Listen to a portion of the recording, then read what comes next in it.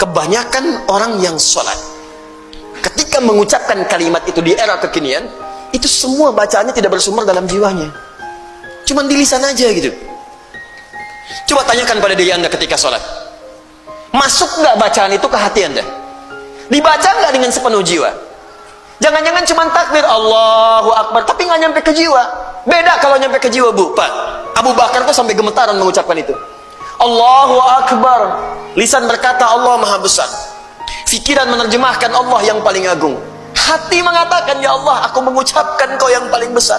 Aku takut setiap hari mengucapkan kau yang paling besar, tapi aku selalu merasa paling besar dibandingkan orang lain.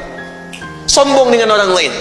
Merasa angkuh, yang paling hebat dibandingkan yang lainnya. Merasa yang paling tinggi. Sementara setiap hari aku katakan kau yang paling besar. Lisan berkata Allah yang maha besar, selesai sholat merasa yang paling bagus sholatnya.